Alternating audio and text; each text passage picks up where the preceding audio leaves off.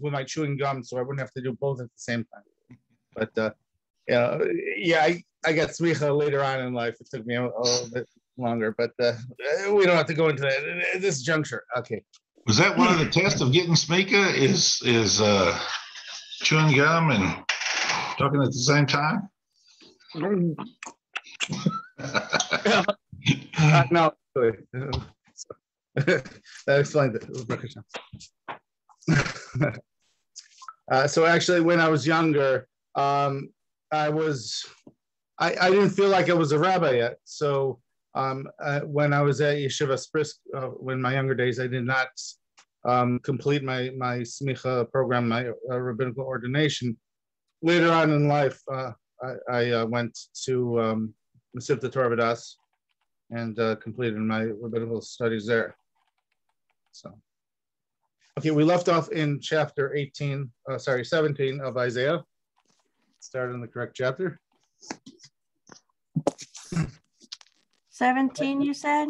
Yeah, that, that week we inverted the chapters. Uh, I'm assuming, uh, you know, we were chewing gum at the same time. So now we got it going.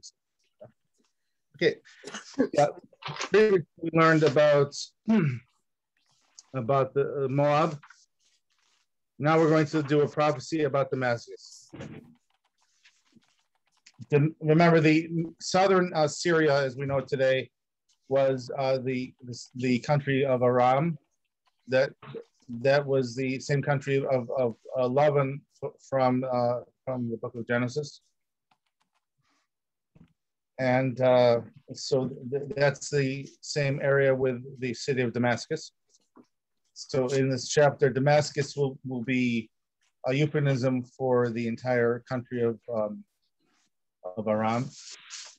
And uh, the north of, of Syria, as we know today, is the Assyrian Empire at the time.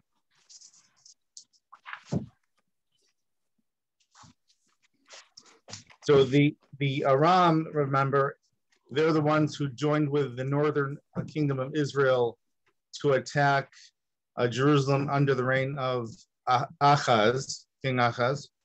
Uh, and and uh, then Assyria, the northern kingdom of, of Syria, uh, is the one that, that uh, laid to waste um, all areas about it before the Babylonians became a power. That was the Assyrian Empire under under Sennacherib. Sennacherib. Uh, so that happened under um, under um, uh, the next king, uh, Hezekiah. Okay, both are mentioned in this book.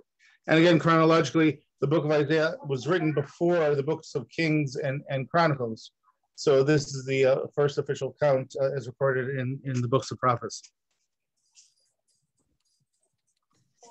Now, this is amazing that before we're talking about Israel,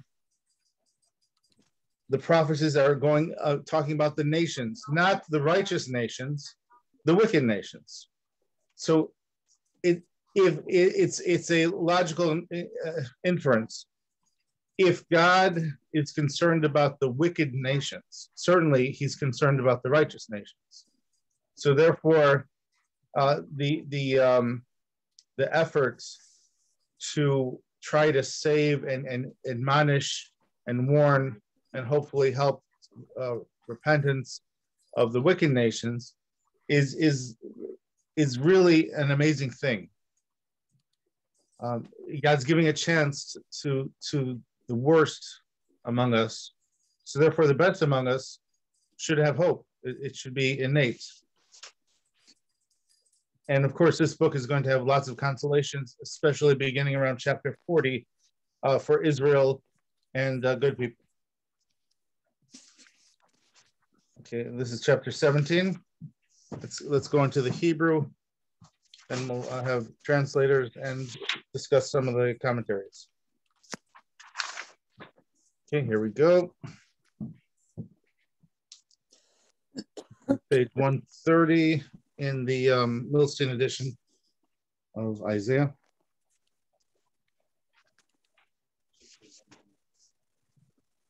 Masa Damasek, Kine Damasek, Musar Me'ir Me'i Ma'pala.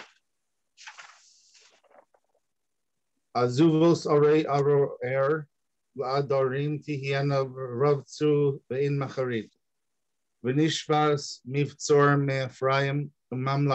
Midamesek, Ushaor Aram Israel. And we have a volunteer translator, first three verses.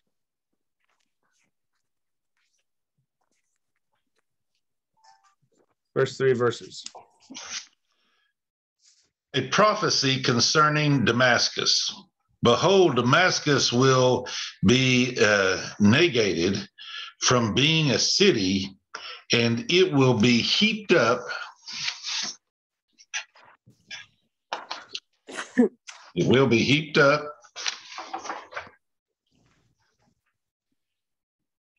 It will be Uh, a not- heap of- it, it will be a heap of rubble. I was trying to turn the page. Yeah, that- It's, it's uh, you know it's that chewing the gum thing. Uh, deserted will be the cities of Oroir. yes, Aroer. They will be for flocks that will lie down with none to disturb them. The stronghold will cease from Ephraim and monarchy from Damascus and the rest of Amram. They will be like the glory of the children of Israel, the word of Hashem, master of legions.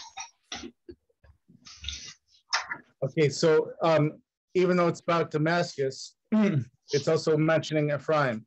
Now it's important to mention Ephraim because Ephraim uh, turned uh, Damascus into a mercenary to help him defeat um, to, to defeat uh, Hezekiah. uh, Well, to defeat um, um, Achaz, uh, Hezekiah's uh, father. Remember, Achaz, the, the the four kings in, in succession was um, after there had been three generations of righteous kings of Judah, Achaz was the first of, of the um, very evil kings. But uh, again, his evil was was from um uh, from weakness. He, he was addicted to idolatry, so he could not wait to go to the idolatrous temple after the, the public service in the in the regular in the in the real temple. Uh, so he put an idol on in the courtyard uh, outside the the holy temple so that um, he could do idolatry the moment he got out of uh, out of uh, uh, synagogue. Uh, kind of like uh, a child who spurns his study the moment he, he uh, gets out of class, he throws his books on, in the mud and stuff. However, he was allowing the people to serve God still. He did not corrupt the, the divine worship. He left it in the hands of the Kohanim, the, the high priest. So therefore, um, even though Achaz did great sins, um, he is is not um, as evil as the kings that came later on. But before the, the evil kings started to appear that were worse than Achaz, there was the great Hezekiah that the uh, sages of Talmud say were, was was eligible to be Mashiach. Uh, ex- uh, almost. Okay, so we have to look in the commentary here. It's it's, it's fascinating um, that um, part of the warning is to explain that uh, there will be uh, no protection for for Damascus just because they're, they're buddies with with Ephraim. Even though God blessed the, the, the Jewish people to receive pr- special protections uh, and stuff like that, uh, it's it's going to um, uh, not not protect uh, Damascus if they join with the um, evil kingdom to the north to try to destroy uh, Jerusalem. What's So the evil kingdom of the north? uh, the, the Ephraimites, the, the the the northern kingdom of Israel at, at that time. I don't know my directions of Israel. So the, the Galilean uh, empire, as opposed to the Judean empire. Oh, Samarian Empire. Uh, and um, it was also called by the name of the capital city, Shomron. Shomron, Shomron was a mountaintop. Uh, it was a fortress on a mountain. And um, uh, thank God, um, last time I was in Israel, I got to see uh, the the uh, actual uh, Shomron mountain. Fascinating. So they, they, built that mountain with about 10 rows of, of, a, of a winding road so that at each stage, if, if, the, um, if the defenses were defeated, they, they would still have nine rows or eight rows or seven rows of archers um, defending the the uh, the, the uh, king. So it was a fascinating um, uh, strategic uh, uh, built, uh, structure for for so long ago. again, this was this was um, this was over 2,500 years ago. It's a long time ago. So now, now this is the first I'm going to explain it outside before we go inside. Inside, it um, bringing in um, Ephraim creates a more difficult explanation because now we have to explain how, how how the promises to Israel is cut off from Ephraim, but not from Judah. Why why is God's promise of protection cut off from them?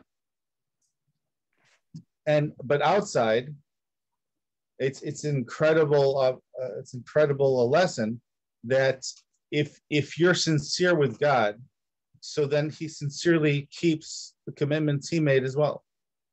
If you corrupt yourself, so uh, then you're corrupting the deal of protection and blessing. So uh, you know, from the outside, it's it's it's easier to understand.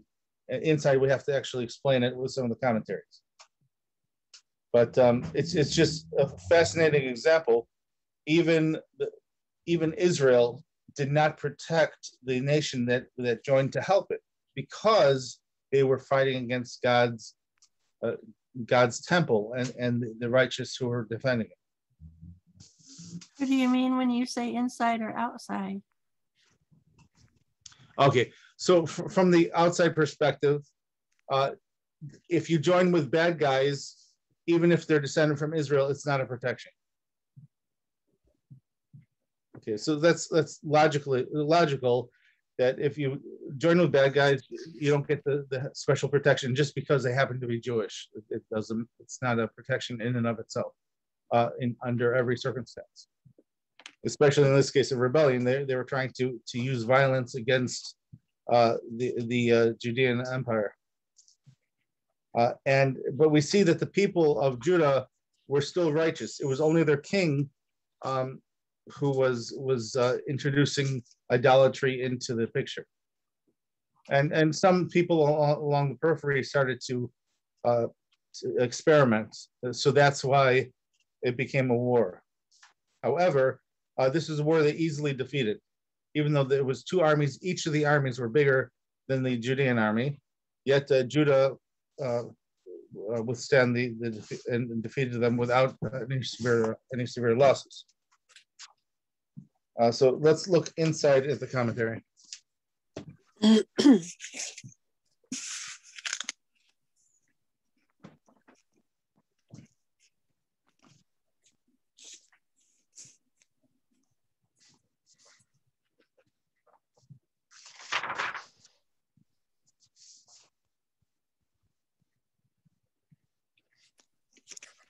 Okay, so if we turn to page 131 in the ArtScroll, In the second column, there, there's a comment, commentary for 17 in the English.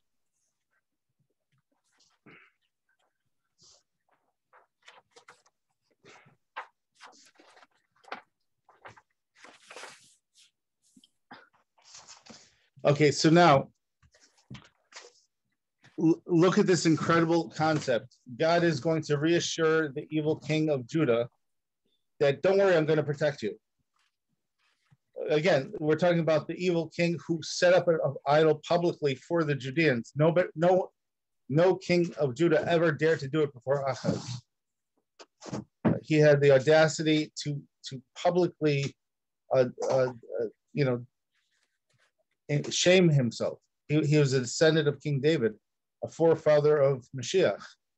And uh, he, he publicly set up an idol. It's very, very shameful as far as um, you know, if, if uh, King David was there, what, how would he look at his grandfather without being uh, utterly shamed?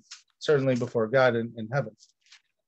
However, the first thing God does is to reassure uh, the evil king of Judah. And that, remember, the only merit he had was simply not destroying the temple. It, he left it uh, with the uh, previous uh, Kohanim led uh, orthodoxy. He did not try to change the orthodoxy of the, of the temple. And that, that was his only merit that we, we, we see in, in, the book, in the book. And um, he's instantly given, don't worry, you're going to be okay. It's, it's an amazing, amazing concept. Okay, so um, now this also helps us understand a little bit of why the current state of Israel is successful uh, in, in for the most part, even though it's not, uh, it's mostly not religious. Nevertheless, it, God has been protecting it and made it successful in wars uh, because they're not forcing an end to, to uh, religion. They're letting people have freedom of religion. Uh, now, of course, they, haven't made the philosophical jump yet. That's even on the Temple Mount, the the holiest place in Judaism. You'd think they'd also let a freedom of religion there. They haven't fully come to that appreciation yet. But as far as uh, not trying to um, stop uh, yeshivas from teaching Torah and things like that, they, they have been um, a, a source of support for yeshivas, uh, even having uh, programs that supported it. So therefore, uh, it's it's um, we see why that this could work in part from this chapter that we're, we're reading here. Okay, let's look at the commentary. Masa Damasek, a prophecy concerning Damascus. Previously in chapter 7, uh, scripture recorded that Rezin of Aram had formed an alliance with Pekach, son of Remaliah, king of the, of, northern, uh, of the northern kingdom, to attack Jerusalem and destroy the kingdom of Judah. so it, it is, again, I, my guess is not just, it's not just about a convenient army, but um, remember the, the mothers of the Jewish people came from Aram. Yaakov Avinu married his, the, the daughters of Laban, the Aramean. Uh, so therefore, they're going to their cousins, the, the northern kingdom, to help them. In addition to cousins, again, there were certain prophecies of guaranteed help to the children of Israel if they're doing good. Uh, but uh, again, good is as defined by God. You can't make a subjective good and then say, "Oh, we think this is good, therefore, uh, you know, we just get uh, some Jews on our side and we could get away with it." it doesn't work that way. What is God's objective truth? What is God's objective good? At that time, Isaiah prophesies to Ahaz, king of Judah, that he need not be concerned because Aram and the northern kingdom would never rule over Jerusalem. Isaiah also informed him that both Aram and Samaria would soon be destroyed. The following prophecy was said when Rezin and Pekach joined forces to attack Judah. Masa Damascus, a prophecy concerning uh, Damascus. Uh, actually, the word masa in Hebrew usually can be translated the burden. It, it's it's uh, talking about a, a, a, a foretelling of doom. So when, when describing doom, only Damascus was, was mentioned. Uh, by the northern kingdom, again, the, the, the kings were, were uh, more evil than the people. So God wanted to give the people a chance to repent. And we see later on in in um, the time of Hezekiah and also in the time of, of Yoshiyahu, Josiah, um, a remnant of the 10 tribes came back and joined with Judah. So even though you only had a few people from each tribe, you still had all 12 tribes of Israel by the time the first temple was destroyed. They were all living together in, in the Judean Empire. Uh, that's very important people think that oh the 10 tribes were exiled and cut off and there's a prophecy um, elsewhere that uh, they will be cut off but uh, the fact is that individual families and, and survivors joined back. So really all 12 sons of Jacob still has representation in the Jewish people even today. Even before you talk about uh, looking for the tribes of, of, of, Dan or, or Menashe in different uh, countries.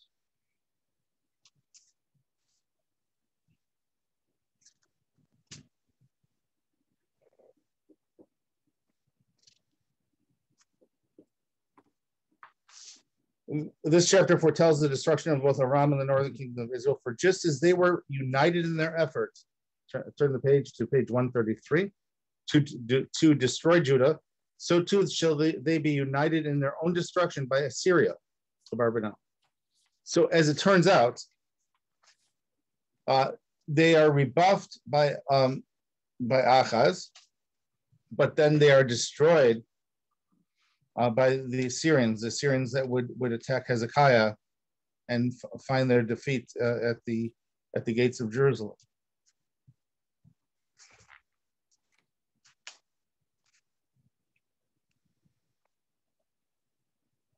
Uh, but this is also foretelling that the northern kingdom would also be destroyed by the same country. Uh, so they, they, they joined themselves at the hip to Aram, and so they were, were guaranteed to meet that fate. Whereas in Judah, anyone who, who left their, their village and, and escaped to Jerusalem for safety, they were protected.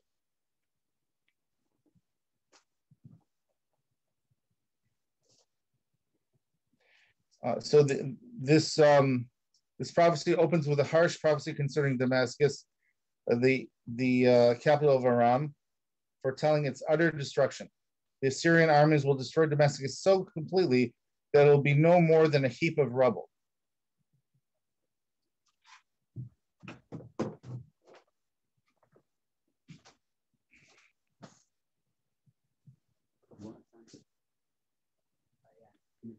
Okay, let's skip to the third uh, chapter, uh, sorry, the third verses commentary in English. The stronghold will cease from Ephraim. The stronghold is Samaria, the capital of Ephraim, the northern kingdom of Israel. The kingdom is referred to as Ephraim because its first king, uh, Jeroboam, Jeroboam, was an Ephraimite. Also, the uh, three generations of, of kings afterwards. Um, and uh, and uh, Damascus Ushar Aram, and monarchy from Damascus and the rest of Aram, just as Ephraim's stronghold will be destroyed, uh, Rezin will be killed, and the Aramean survivors will be exiled just as the ten tribes, the glory of the children of Israel were exiled, were exiled to Hala and, and Habar, uh, in, as in uh, 2, King, uh, 2 Kings uh, chapter 18. the Arameans were exiled to Kir.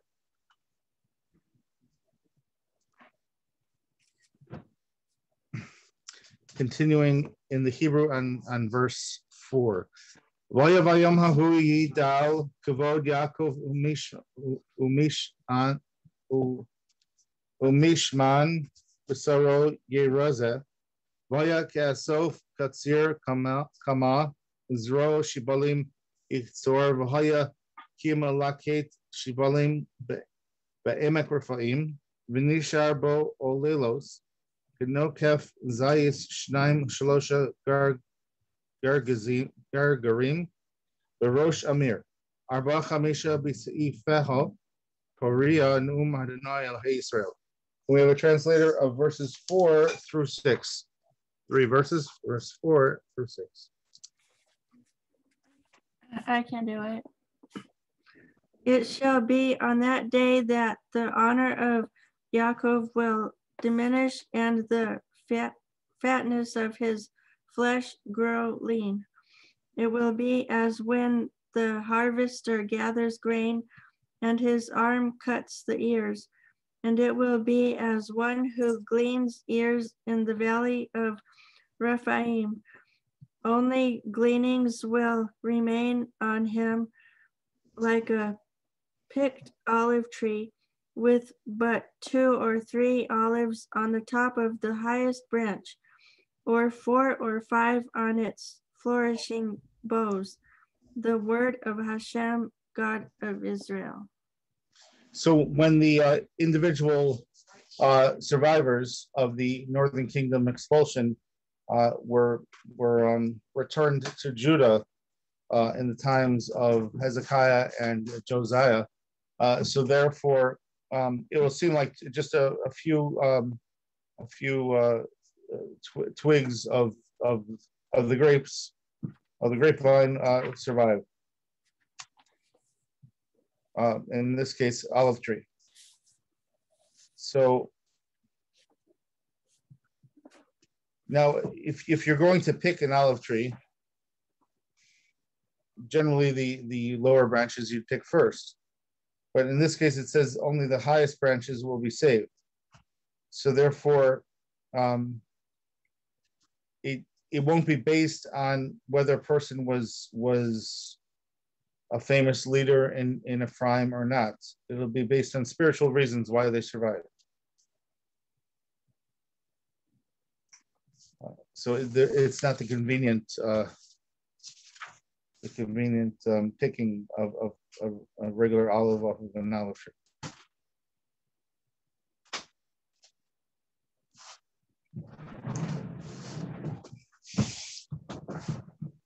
So now this is um, this is called a diminishment to the um, honor of Jacob, and this explains why. Um, also, the the language of uh, masa, a burden, is mentioned in the start of this prophecy. Uh, but in this case, of course, it, it was necessary. It, it's like uh, if somebody had a, a, limb that had to be uh, amputated, God forbid, so that they could survive a poisoning of some sort. Uh, so, so um, it's not a good thing, but the end result will be for the best. Uh, so when, when people choose their own destruction, um, it's it's not the best not the best uh, option. But the the goal has to be justice, and justice is according justice according to the divine uh, divine plan for uh, for that. It it can't be according to um, individual uh, perspectives. You know, like only if this or that person lives or, or dies can this or that be right. But if the, this or that person was was the leader of, of the movement to, to destroy um, any connection with God, the God of Israel, so therefore, how could you blame the God of Israel for not protecting the people? And how could you blame the God of Israel for removing someone who was guaranteeing the destruction of his fellow uh, of his fellow people? So we have to trust in the justice of, of God. And if if we are pursuing absolute justice, which is has to be only from God's perspective, not from our uh, subjective views, then then we could also expect mercy. If we are trying to control God to have uh, our version of justice and our version of mercy, so then people end up disappointed. You know, every, every dictator in the world, every conqueror in the world had their version of justice and mercy. Uh, but if they had think, thought about God's version of justice and mercy, mercy, you know, they probably would not have been a conqueror in the first place. An exception to the rule is King David and King Solomon. So they expanded the kingdom more and more, but they did it uh, similarly to a defensive war. Sometimes they would have to um, start a war with, with a nation. They, they may have um, cast the first arrow, but only because that nation was, was a risk. Remember, in those times, uh, there were human sacrifices. They were, and they, those those places of human sacrifices, the, the Moloch worshippers included, uh, they targeted children so it was it was an evil beyond our, our understanding. Uh, you know, for example, in World War II, the Japanese had kamikaze kamikaze uh, fighters. Uh, but imagine if the Japanese had kamikaze fighters only of children. The only time they would sacrifice a human life to attack the enemy is if they would strap a child, God forbid, into the airplane and then attack the enemy like that. so that's beyond despicable, beyond beyond understanding. But that's that's who uh, King David had to deal with, and, and that's why um, the, King David kept fighting and fighting, and until um, he, he reached uh, Asia Minor. He kept fighting and fighting. There's there's so many psychos, but uh, again, it, we don't have a. Um, I don't, I don't think there's a parable in, in modern times to the evil that King David had to face. So that explains why he kept fighting, fighting, even though uh, he was for peace, as it says in Tehillim, he was for peace and they were for war. He always wanted peace, but you know, they, they were just uh, they were monsters, destroying their own babies. Not just that, waiting till the kids were, you know, were uh, old enough to feel pain and, and make it a greater sacrifice, and then, um, and then they they killed him. So it was it was pretty uh, brutal. Okay, so only by following God's plan can we not not be overwhelmed by our subjective um, whims and uh, potentially corrupted versions of justice. But God doesn't corrupt. God cannot corrupt. So therefore, if we keep the objective uh, truths of the Torah with us, we won't become these monsters. And again, conqueror after conqueror, except those who kept close to the Torah you know, David and Solomon added books to the to the Tanakh. They, were they're holy men. Uh, they were able to uh, follow God's plan, and so therefore, even though they conquered, it was only by God's rules. Whereas most conquerors in history, it was just a brutality after brutality, and it was a um, hypocrisy after hypocrisy, a self-rationalization after self-rationalization and the innocent suffered.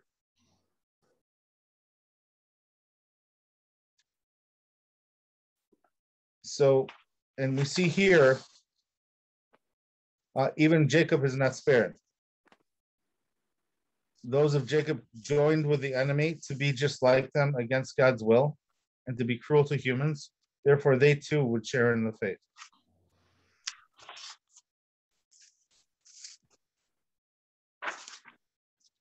Okay.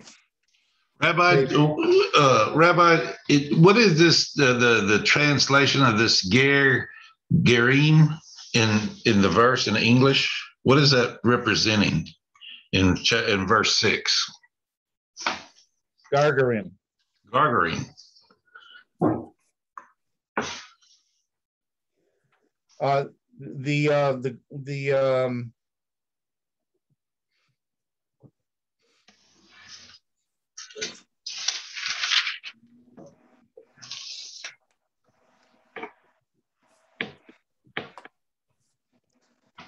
Second.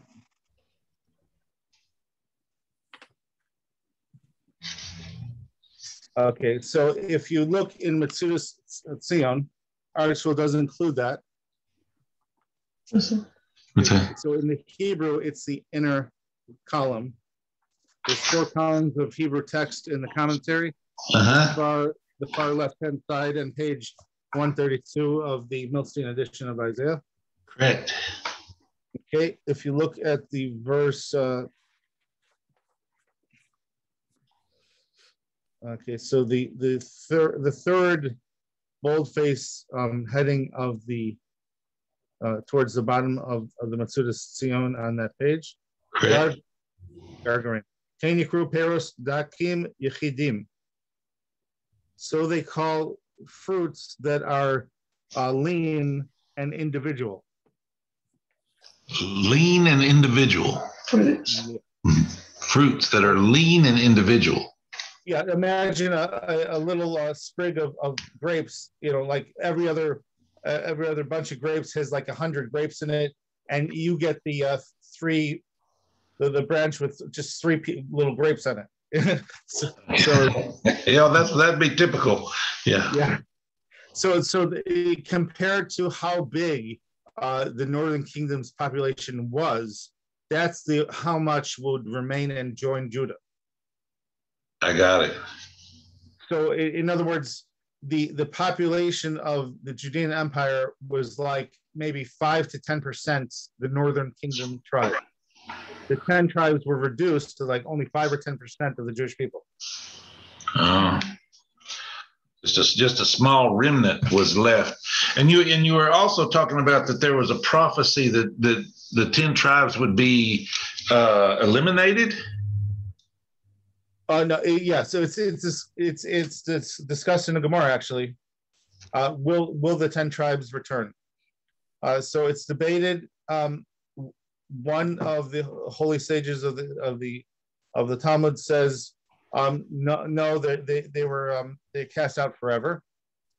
Uh, one sage says they will return, and uh, one sa- sage says they'll return, but not their philosophy so and we see today the ten the 10 tribes that are suspected in different areas such as ethiopia they are converting to judaism. Judaism is the judean empire. It's it's it's not israelism it's Ju, Ju, judaism. Are you starting So- to be able to see which sage is correct? yeah. Yeah, but uh, it's also that um uh it, it's that um they in other words they would become a part of the the jewish people from the southern kingdoms for philosophy even though they they're, physically would return as individuals Return as individuals without the philosophy of the northern tribes. yeah that was utterly lost Uh, and and um according to halacha uh they have to submit to the the torah as given by the the remnant of judah and the- judah benjamin and levi uh so um and of course we, again we have probably uh, 5% of the jewish people are are also from the 10 tribes but they're mixed into judah we don't know for sure Right. So yeah. Okay. All right. Thank you. Okay. But um, so it, you know the, these commentaries are, are really incredible, and um, in in some ways the the Hebrew is is uh, the Hebrew of the commentary is is greater than the English. So if you could continue in your studies until you eventually become able to um, study the original Hebrew, that would be great. The way I learned um, the, the two best ways I learned. Uh, besides, well, one of them was studying Gemara, of course. It expanded my mind to, to be a better, uh, uh, better able to study different commentaries. But also, I studied uh, before that. I studied uh, the Chumash with Rashi, five books of Moses with the translation of Rashi. And when I read the translation of Rashi, I also read the Hebrew of the Rashi so I could try to guess, you know, which word meant what, and I started to get an idea of it. So I, I used the interlinear uh, English translation of, of uh, the five books of Moses, and then the, the interlinear uh, translation of Rashi as well. And Rashi quotes Hebrew words, and he also quotes uh, Aramaic words. And then after that, I added, um, you know, as a teenager, I added um, studies of uh, the Onkelos, the, the, the Targum translation in Aramaic, and it was it was fascinating. I, it's like every time I would do the parsha with Targum, it's like I picked up a new word or, or up to three words in every every week. I, I figured out, oh, this word means this in Hebrew, and that Hebrew word means this in English. So I was learning the language of the Talmud by using the Targum instead of the Targum t- teaching me about the Chumash, the Chumash was teaching me Targum, which was teaching me the Talmud. Uh, so that's how per- I personally was was growing before I started to study Gemara.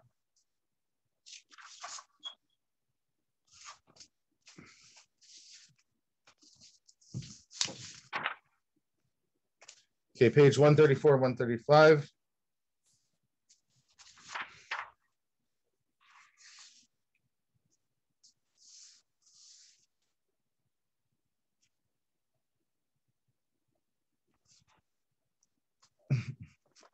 Hahu Yisha Ha'adam al Osehu.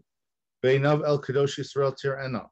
V'lo yish'a er el hamizbechos Amase yadav v'asher asu etzbosav lo yireh v'ashera v'ha'asherim v'ha'chamanim v'yam hu yihia arei Uzo kazuvas ha'choresh v'amir asher azvu mipnei b'nei Israel v'ha'yisa shemama ki shachachat Elohei yish'ech v'tzur ma'uzech lo zachart al ken tit'i nit'ei na'amanim Uzamoras zor tiz ra'enu biyom nit'ech tisag tisag segi uvaboker zarech tafrichi ned katsir bayom uh, biyom nachala uchaev anush. Okay, translating uh, the the English on page 135, 7 through 11. On that day, man will turn to his Maker, and his eyes will look to the Holy One of Israel. He will not turn to the altars of his own handiwork, and to what his fingers made he will not look, nor to the Asherah trees or the sun images. On that day, his fortified cities will be like the abandonment of forests and woodlands which they abandoned before the children of Israel, and it will be desolate. For you have forgotten the God of your salvation, and have not remembered the rock of your stronghold, because you had been planted as pleasant saplings, but you sow strange shoots.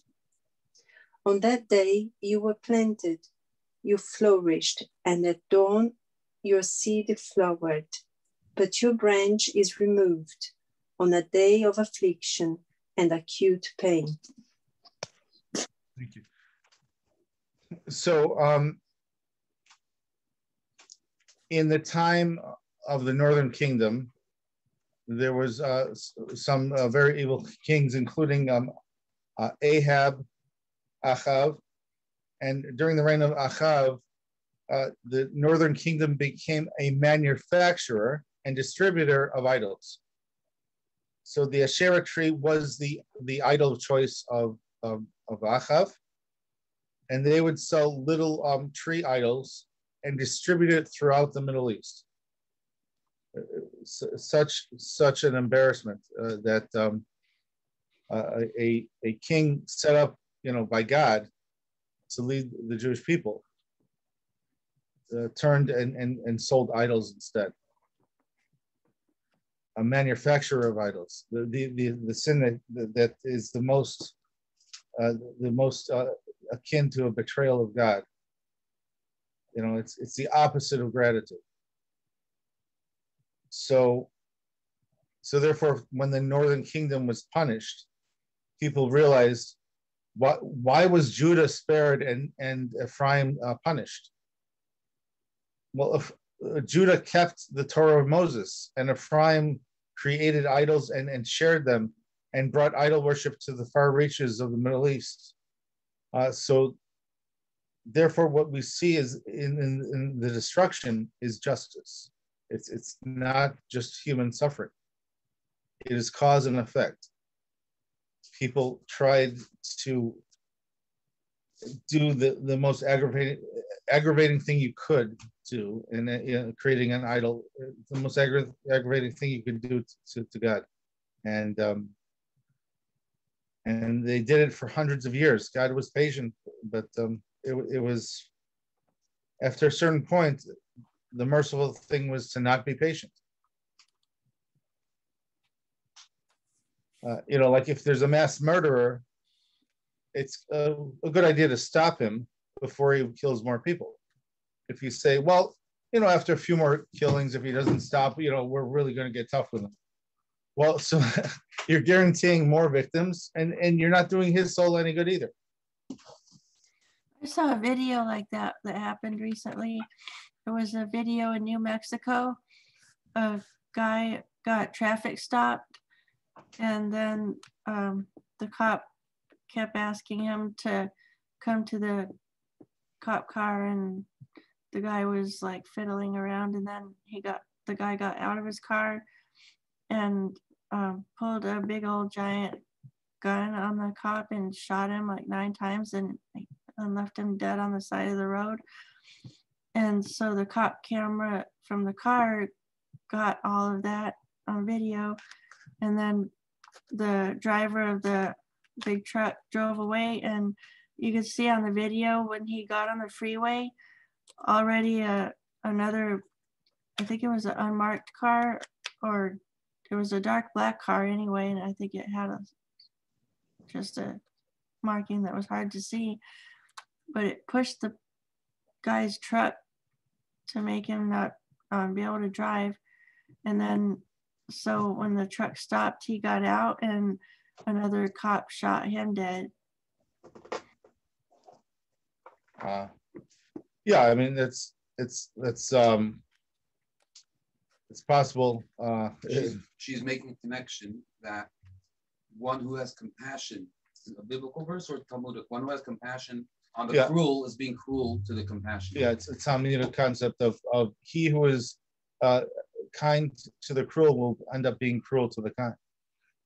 Uh, so it's. The it's- kind thing to do, unfortunately, is Yeah. to stop the bad in its tracks. Yeah, the best thing to do is stop the bad guy in his tracks, as, as Hill said.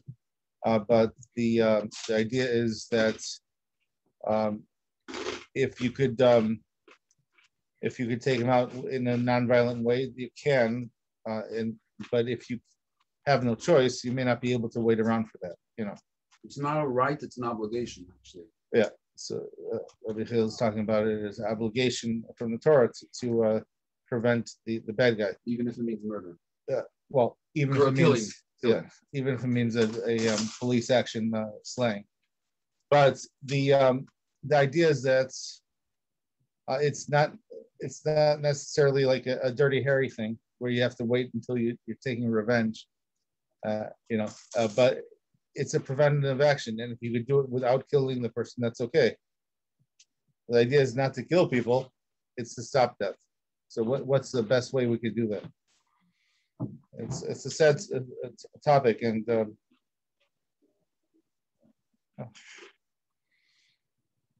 it's uh, when people uh, are, are killed, it's it's not it's not good. But if we try to discuss this objectively without getting into emotions, and you know, a lot of people know people who, who were killed, you know, so I'm having memories of someone I knew who was murdered. But um, uh, if we if we look at it without emotion, the best thing to do is the bad guy should stop. And if someone is giving themselves over to terror to the extent they're like the Moloch worshippers, you know, they don't care sacrificing their own children to kill innocent people. So, you know, the, the sooner they're brought to justice, the better. Hopefully without death. But if there has to be death, only the terrorists should die. They- you cannot treat them with kid gloves. You cannot give them equal rights to regular humans. If somebody dedicates themselves to the kamikaze philosophy uh, with uh, the idea of taking down innocent civilians with them, so they have to be put down unless they could be incarcerated or or tranquilized or something. But uh, th- there's no such thing as, uh, you know, well, okay, men, go and capture him. Only let him kill two of you. If two, if he puts down two of you, that's it.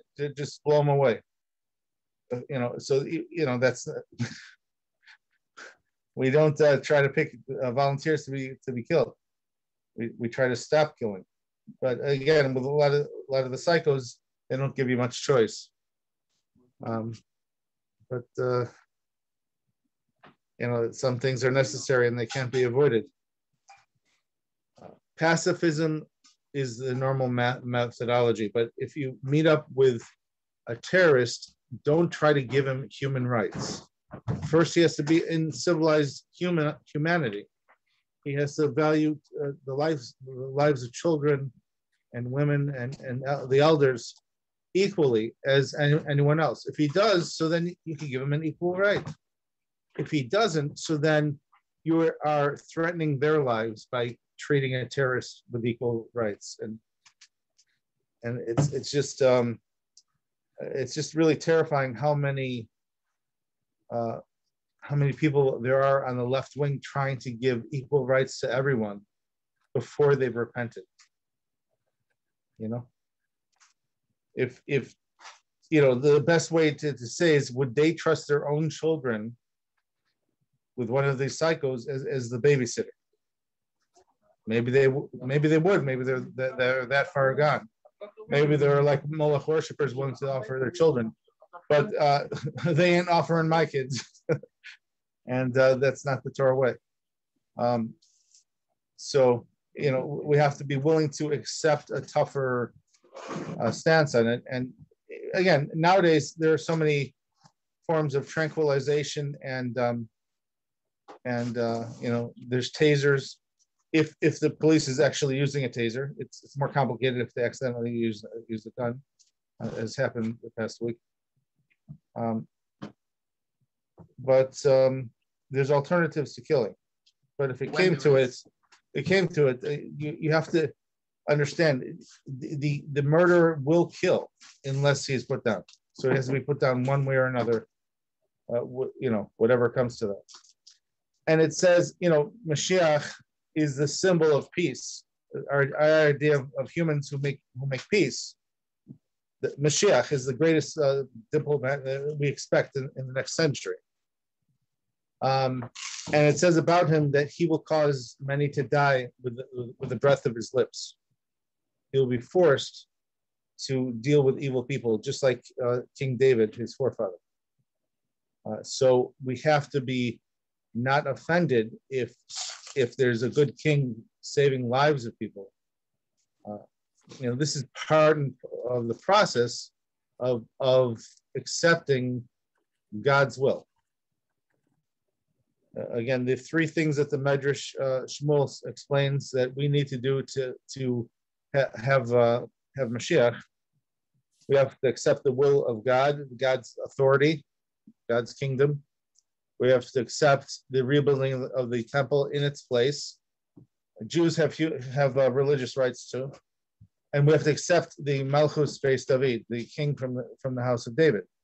To do that, you know, we can't let uh, any political philosophy affect us, not right or not left. Uh, just uh, one moment. Uh, someone has a question. Just a moment, please.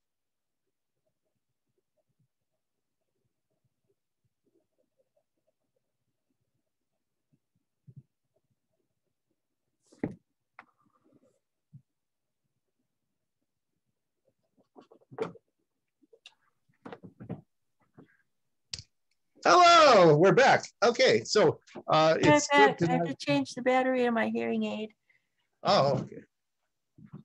Uh, hi, Beck. Okay. Okay, so um, any questions before we continue? We're going to go to verse uh, verse 12.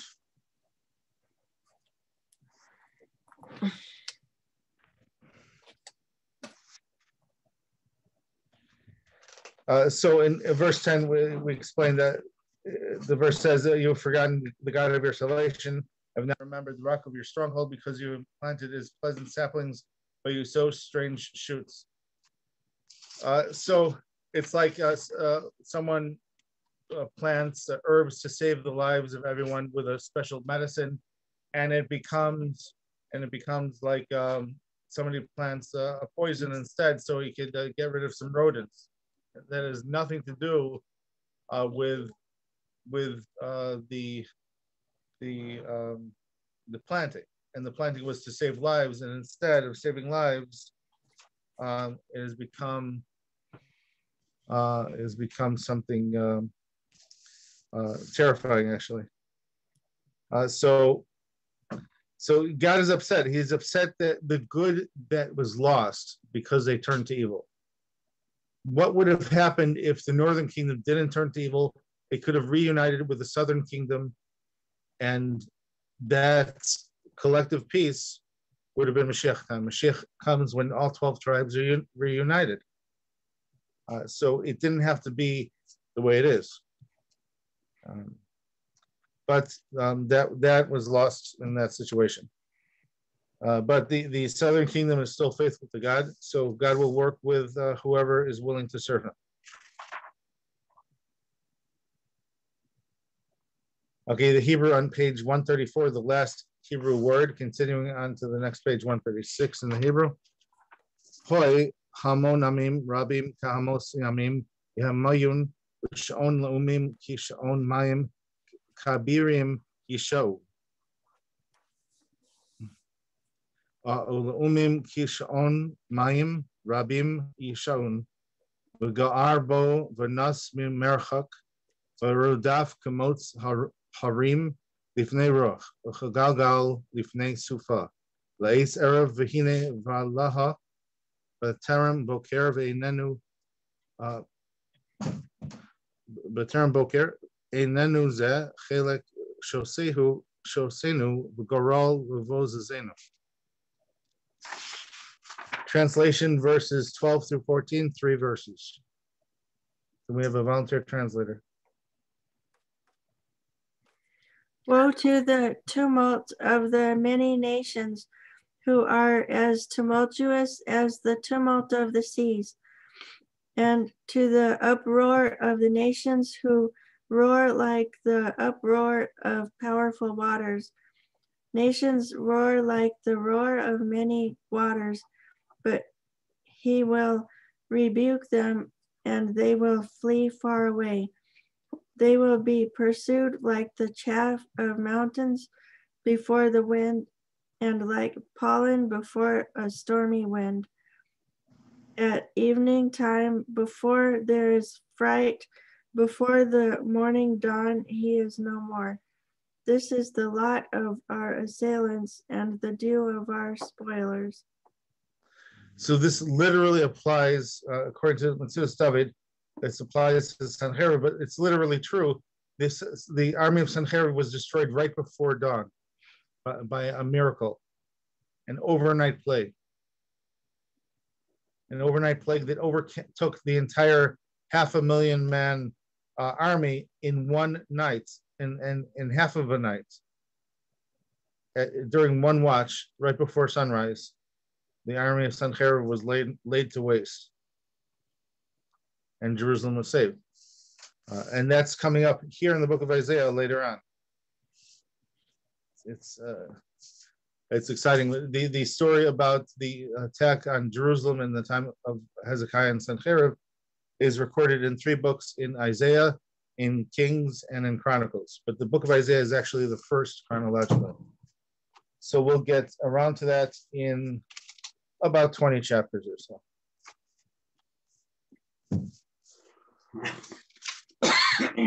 Unfortunately.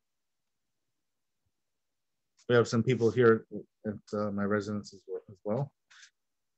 Okay. Um, action.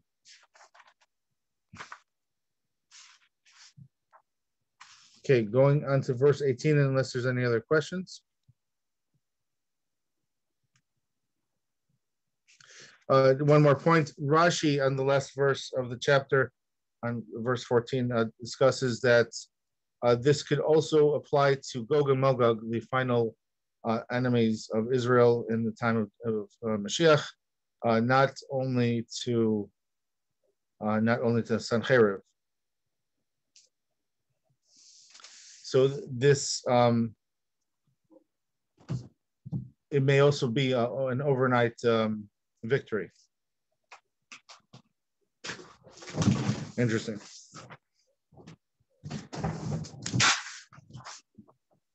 Okay.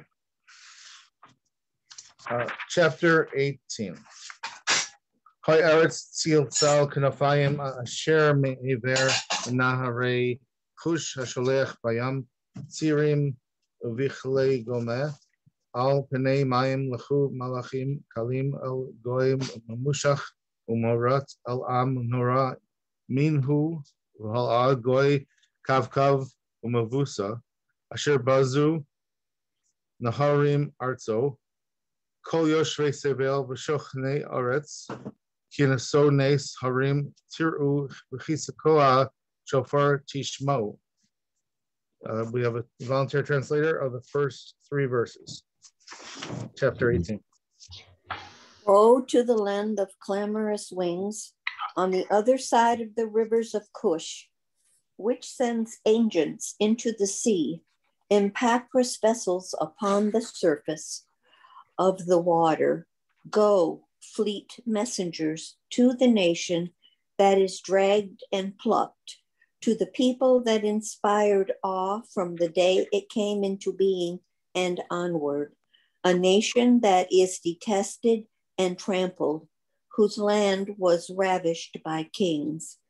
All you inhabitants of the world and dwellers of the earth, you will see when the banner is hoisted up upon the mountains, and when the shelter sounds, you will hear.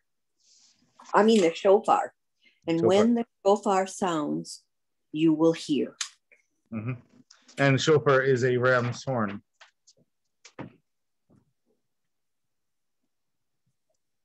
So it's a there are two uh, main kushes. Um, in in many countries, you have the same, just like in America, you have the same city as, for example, the, the city of Springfield is in many states.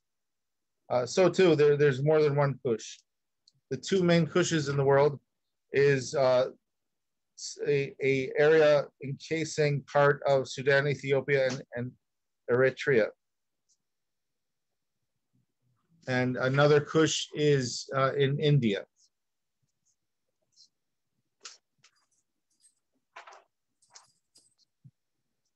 Okay, so uh, ArtScroll prefers that this this Kush refers to the one south of Egypt. Um, uh, whereas um, I remember reading another uh, interpretation about uh, it referring to the um, farther east. Because going to Kush, Mehodu Vad Kush would include the uh, Persian Empire. Mehodu Vad Kush men- mentioned in Megillus Esther, the Book of Esther, uh, referring to uh, Artaxerxes' kingdom Achashverosh.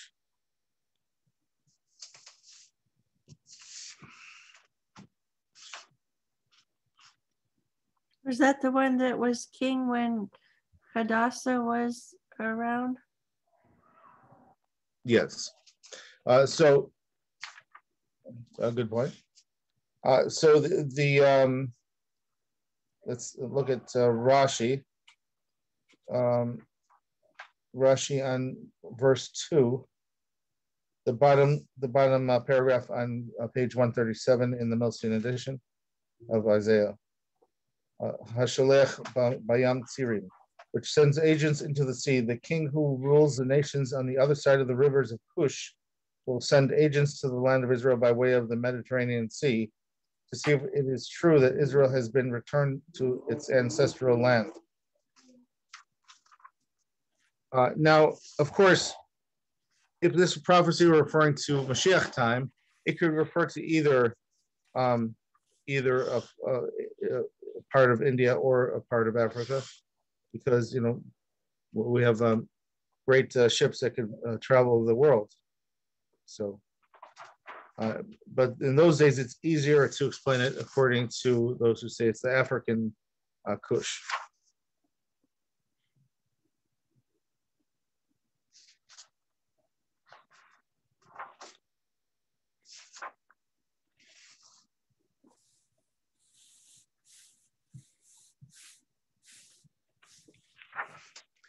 Okay, let's continue. We're going to find out more about the uh, Mashiach time here in this chapter.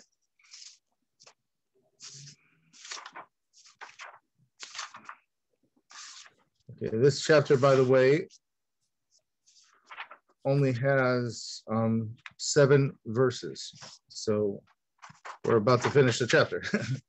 so let's, uh, let's finish the Hebrew and English translation and then just go through commentaries and le- learn a, little bit about the final redemption.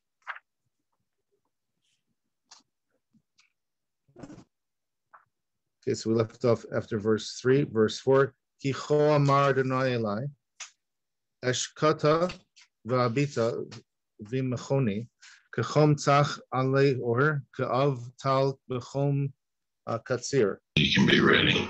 if nobody reads it.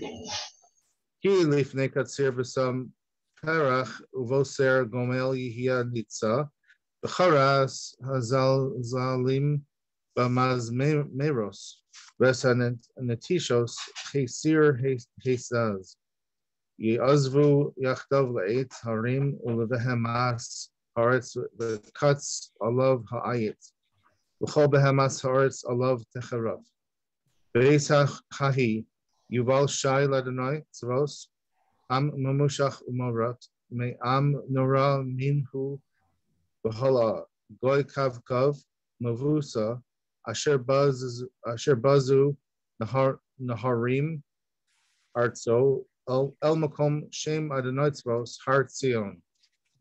And we have a translator, verse 4 through the end of the chapter, four verses. For this said Hashem to me, I will be at ease and I will look after my place of foundation, like crisp, crisp warmth after the rain, like the mist of dew in the heat of the harvest. For before the harvest, when the flower is finished and the bud turns to grapes approaching ripeness, he will cut down the young branches with pruning hooks and he will remove and chop off all the twigs. They will be left, left together for the bird of prey of the mountains and for the beast of the earth. And the bird of prey will feast in the summer on them, and every beast of the earth will feast in the winter on them. At that time, an offering will be brought to Hashem, master of legions, namely the people that is dragged and plucked, and some of the people that inspired awe from the day it came into being and onward, the nation that is oppressed and trampled, whose land was ravished by rivers to the place wherein rests the name of Hashem, Master of Legions, Mount Zion. Yeah, so, so um, the language of the last verse it, uh, reminds me of uh, when when uh, the angel was saying to Abraham, um, your your son, your your firstborn, your your firstborn son, uh, Yitzchak. So you know repeating until the point was driven home. Uh, so here it it, fi- it concludes with Mount Zion trying to um, help the idolaters of the world come to grips with the idea that uh, the people that God chose are the people that God is going to stick with. Um, and it, you know, for some people, it's a hard thing to, to grasp. But uh, you know, God is true to His word. Thank God. But we see here it's very powerful, this prophecy coming right after the rejection of, of the Ephraimite kingdom, is that uh, just because they're Jewish doesn't mean they have a pass.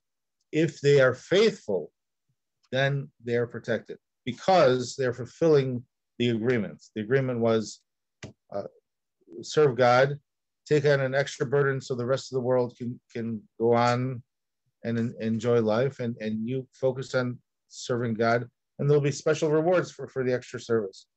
Uh, but um, you know, it's it's like um, imagine a um, a great uh, seafaring vessel that required to have a bunch of engineers holding the engine together during the the uh, during the the the, the travels and and the journey through the the oceans and then uh, some of the engineers started to slack off and say, "How can the passengers get to rest?" You know, uh, but the, you're not passengers, you're, you're engineers. So uh, Jews have to be willing to accept the extra burden upon them so that the world could, could function uh, normally. Uh, and, uh, you know, then also the other nations have to be willing to accept their, their roles as well. And, um, and the idea is God created the world for, for kindness. Olam Chesed Yibana, Psalm 89 the world was built on kindness, and um, it, it's just a beautiful thing. It's it's the thing that unites everyone. Everyone needs. Every, every human has needs. It, it doesn't matter if they're Jewish or not, or you know any background. We all have needs, and um, by being merciful to each other, we're emulating God, walking in his way. And uh, we could bring all the blessings of, of God upon us for all generations. You know, all we have to do is be willing to suspend our perception of objective standards and go with God's. If you think there's truth in God's way, so then follow, follow the ethic of the Torah uh, and uh, let it teach you the correct way to view things.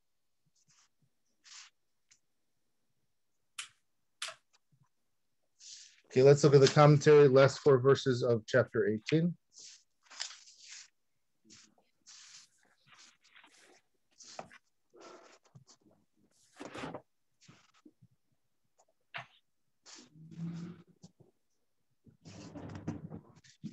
Verse four, I will be at ease. I will look at after the my place of foundation. My place of foundation is the holy temple. God had stated clearly that it will not be silent nor rest while Israel is in exile. In chapter 62, we'll, we'll see that prophecy. Uh, but when the uh, redemption finally arrives, he will then rest and look favorably at his temple.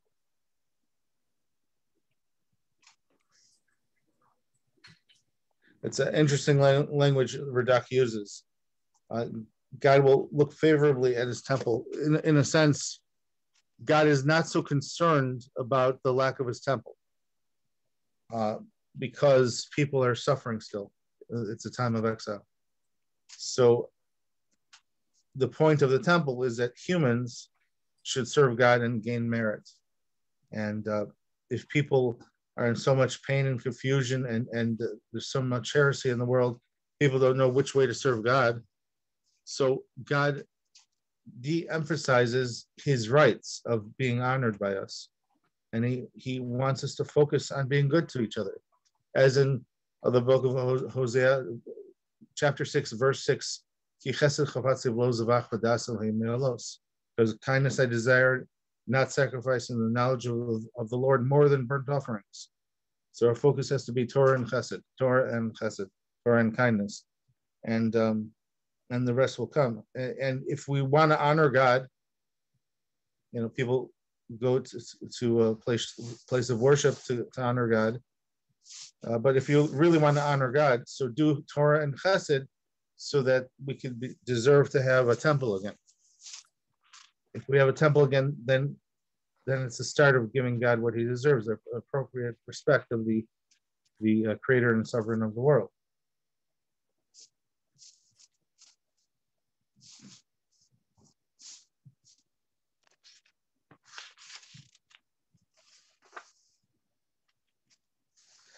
So Rashi says in verse four, he's he's implying that this is talking about the final um, the final exile, our time. God declares that He will relax from the punishment of the offspring of Esau, and will turn His attention to the temple and to benefit Israel.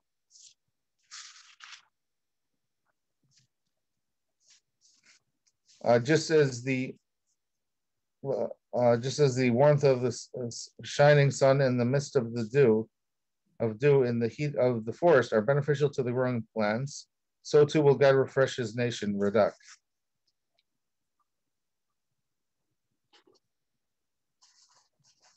And verse 5 For behold the harvest, when the flower is finished,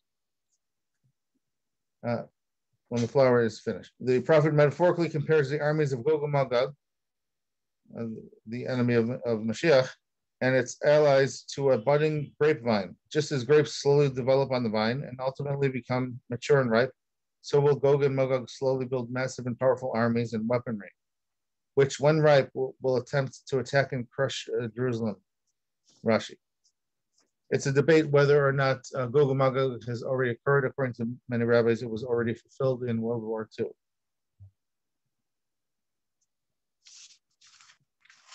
Uh, and the bud turns to a grape approach, like uh, approaching ripeness. The ripe grape symbolizes Gog and Magog, like grapes growing on the vine, from bud to finished fruit. Their triumph, uh, the triumphant armies will grow and as more and more uh, troops and cavalry come prepared to attack Jerusalem. Uh, and then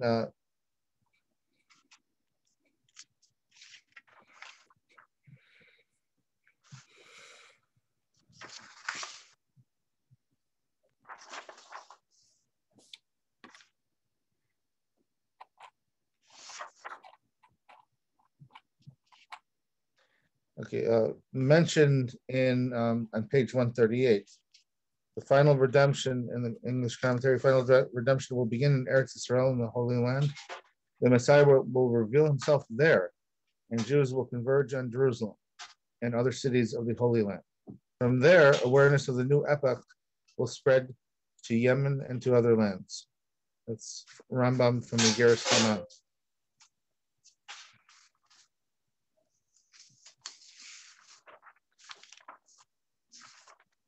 That was technically commentary on verse two, but uh, why, why not uh, just mention that part?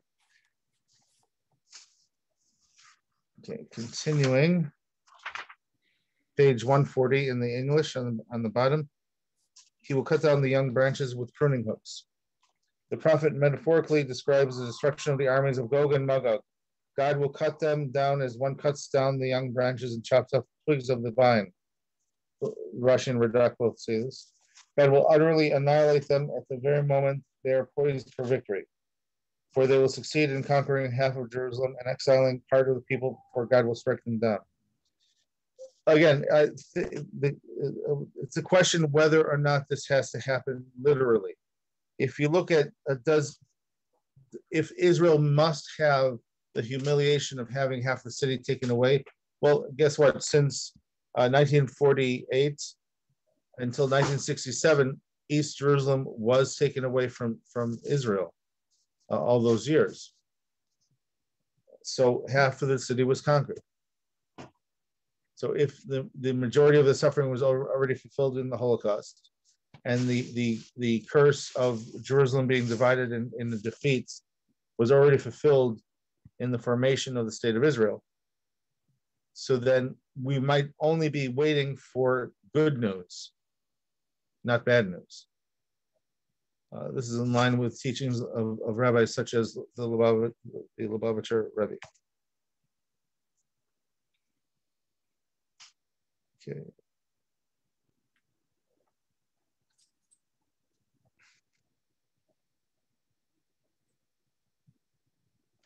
Uh, Rashi adds that when Gog and Magog will be destroyed, God will destroy the princes and rulers of Esav as well.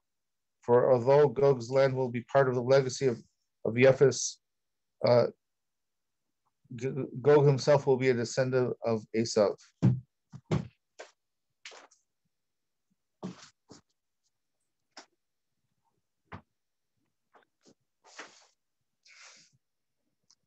One of the countries that fits in with this uh, motif is potentially in our, in our days potentially uh, Turkey uh, fits in with the, the potential to be Gog Magog, according to uh, uh, my analysis, but also I, I remember learning there was a uh, a rabbi who also held that Turkey was was a possible a possible source of Gog Magog. That's only according to those who say Gog Magog still must literally happen, as far as a, a large army from somewhere from the north attacking uh, Jerusalem.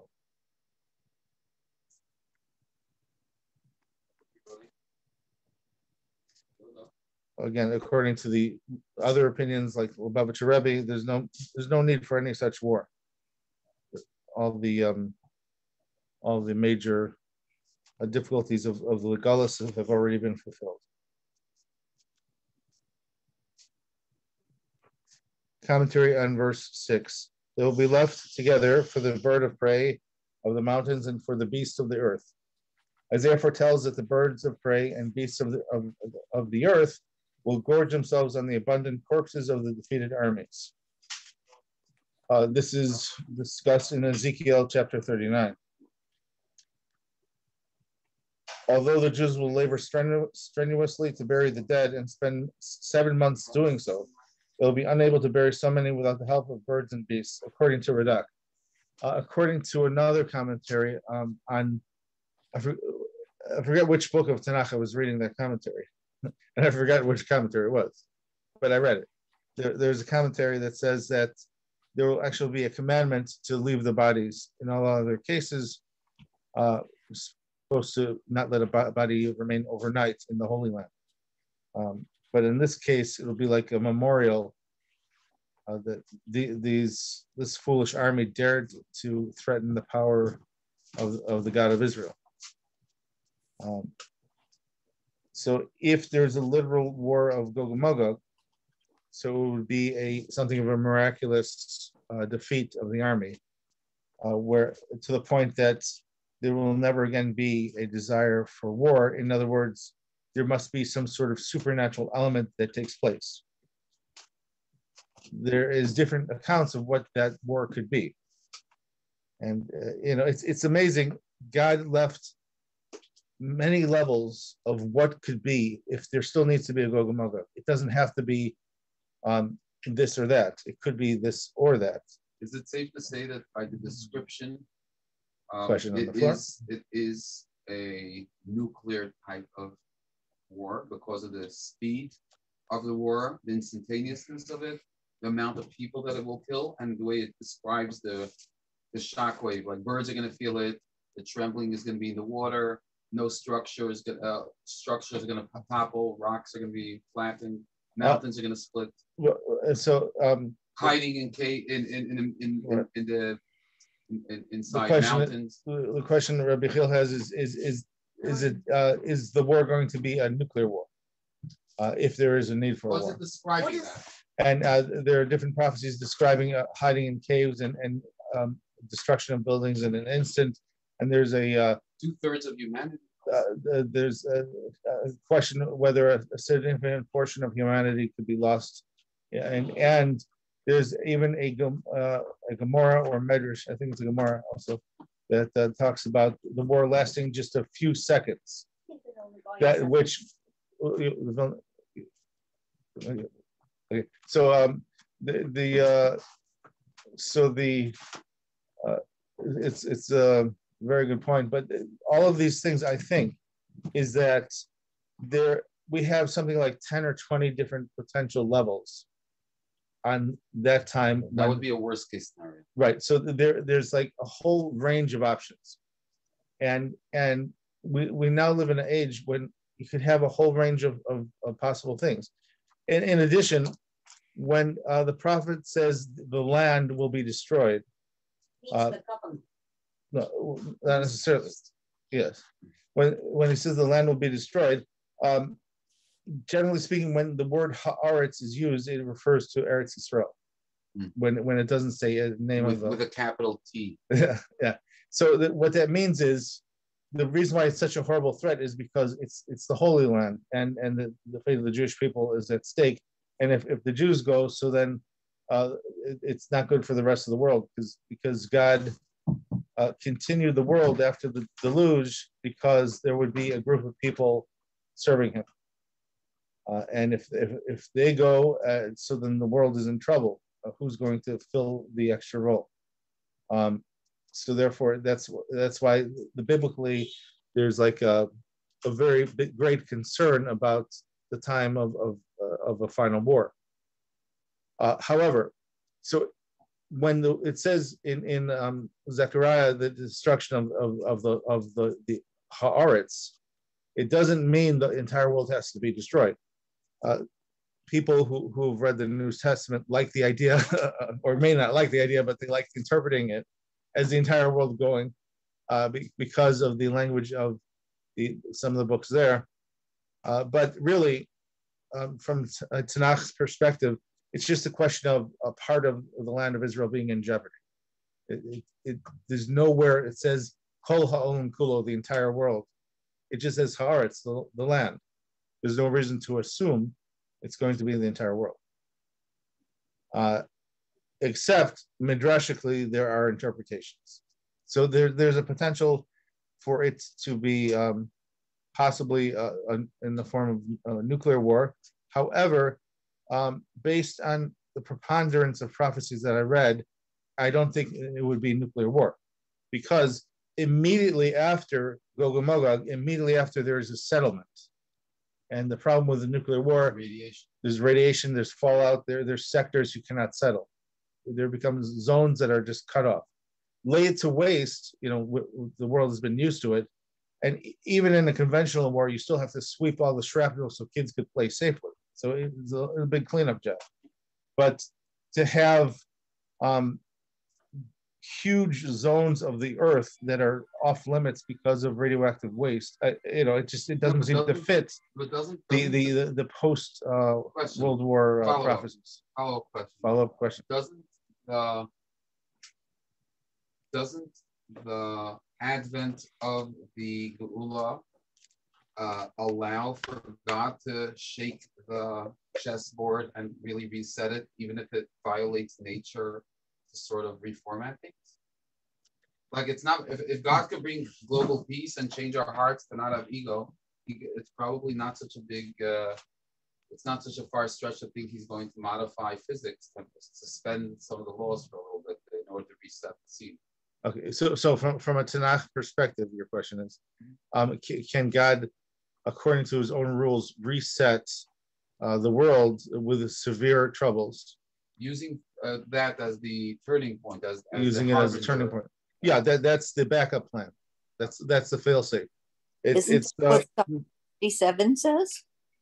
uh, oh, sorry. Could you uh, part of your words? Uh, fade out, could you repeat that? Psalm 67 says the er, it's the Mm-hmm. next it's the next to the last verse where he talks about uh, the earth will have yielded its produce and God will bless Israel. God will bless three times it says God will bless Israel. Mhm. But it also says in the commentary at the bottom when you're studying Psalm 67 that the promise is a complete renewal of the earth that's that that that is the code for what those words are saying Right. Well, in, in complete renewal of the earth. So we're, the question is, in what sense, and also at what time? Is it How- How talking? will that play out? Right. Is it talking, for example, in another thousand years? According to a nuclear scenario, you're talking about a thousand years later. You understand? It's it's it's a complicated. ourselves to nature, Right. Nuclear is a problem uh, from the perspective of other prophecies, although it fits into some interpretations of of certain verses.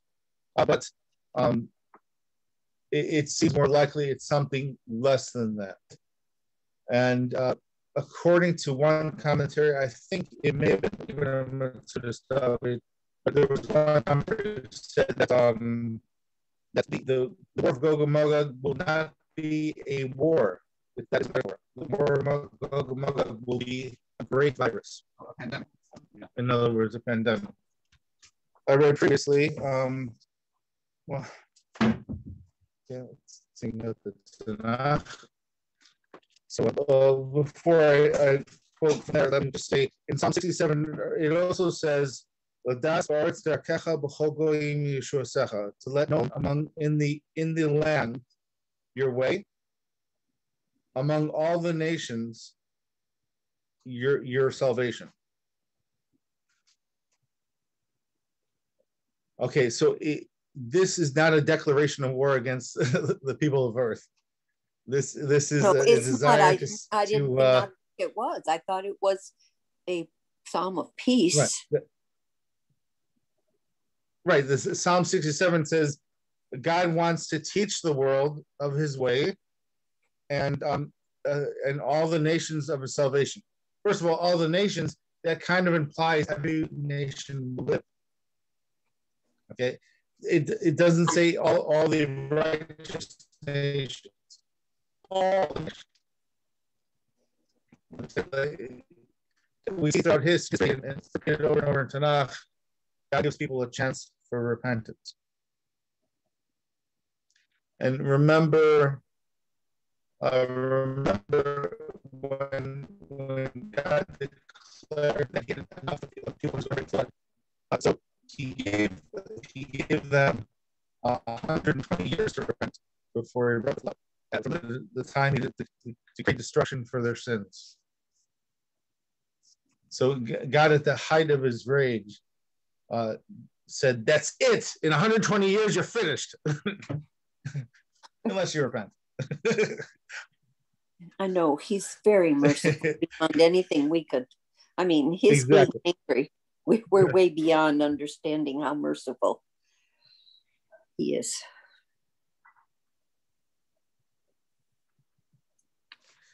Okay, and and recording the the uh, another verse from Psalm sixty seven.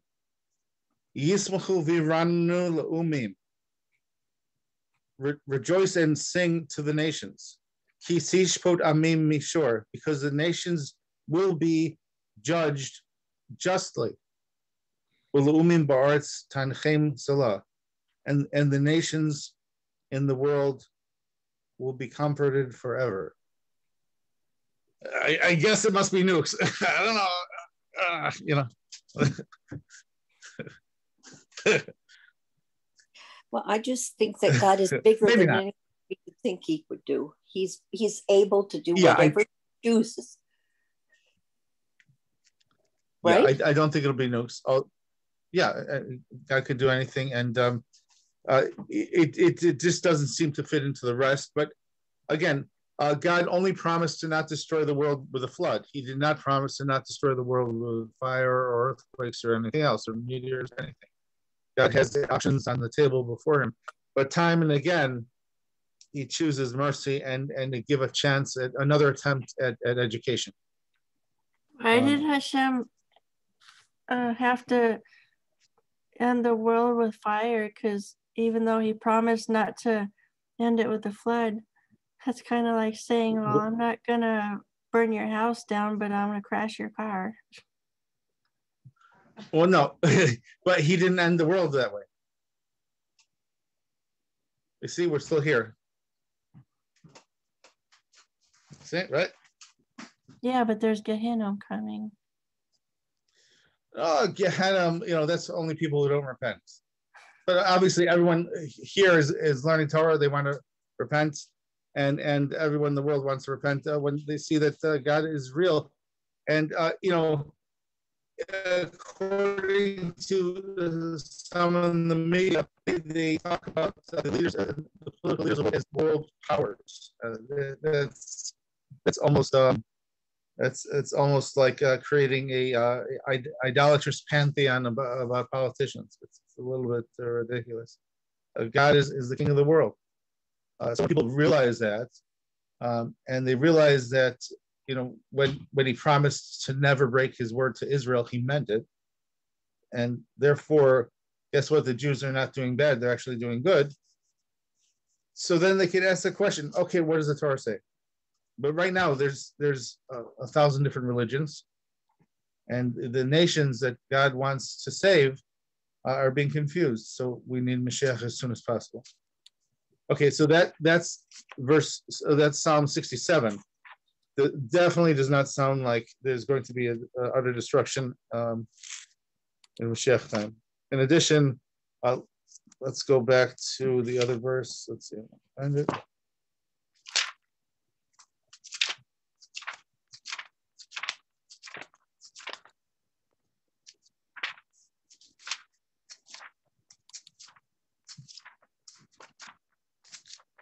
Okay, so the last chapter of Zechariah, chapter 14.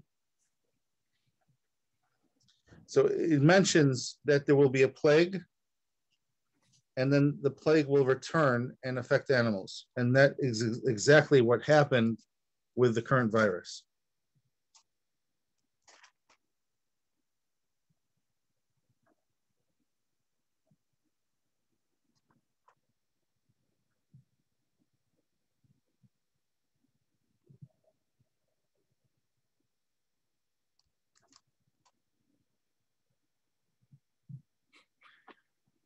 I think we lost your sound, Rabbi.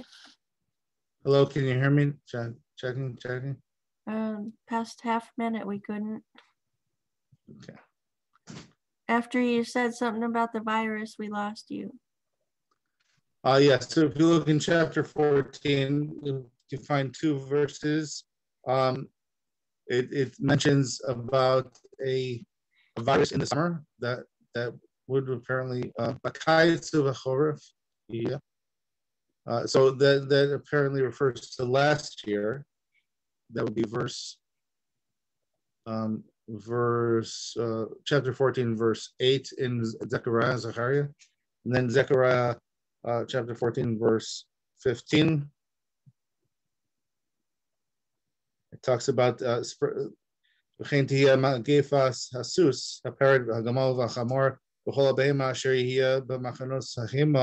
Kamagifa Azos.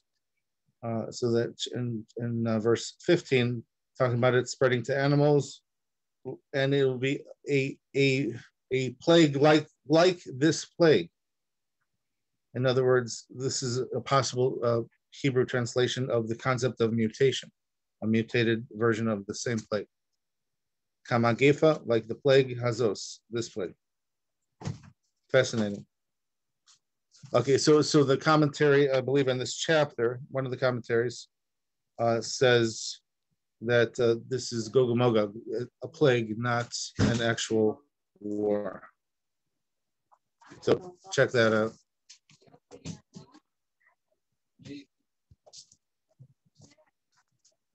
Okay, so and then finishing up in um, uh, chapter 18. Okay. Yeah. Baruch Hashem. Just a moment, please.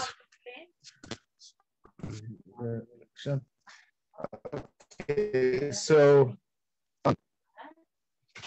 okay, then if you look on uh, the column on page 141, the last paragraph, uh, to the place wherein rests the name of Hashem, Master of Legions, Mount Zion, the nations will bring th- those Jewish people who remain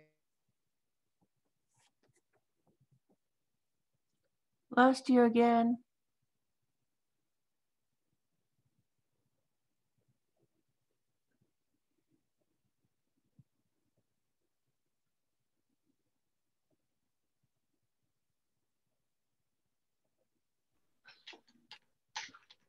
Have we lost him or?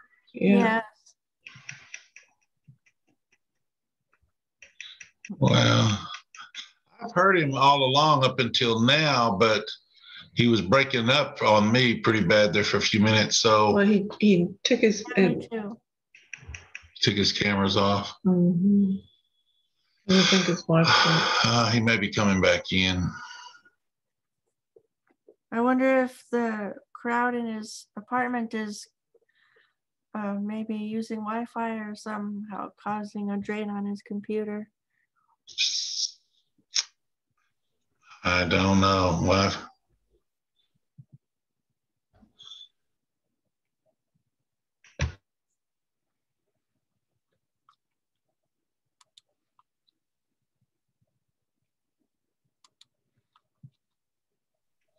All right. Well, I guess he's gone, and I don't know if he's coming back in or if he left.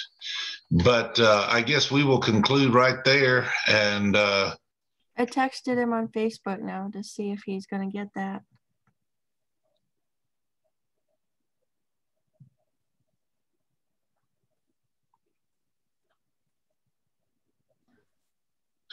Okay. Well, let's go ahead and just conclude right here. We're at uh, an hour and a half, and uh, I think we'll just resume next week. All right. Okay. Thank All right, you. thanks, everybody, for coming. Thank you. Good night. Thank Bye-bye. you, Russell. Thank you. Good night. Thank you. Thank you, everyone. Thank you.